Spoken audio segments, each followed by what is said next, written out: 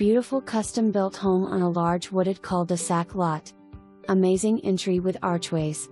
Great open floor plan, home features granite countertops, tile backsplash, designer cabinets. Large master bedroom, master bath has a garden tub and separate shower. Enjoy your evenings on your back deck overlooking your peaceful backyard.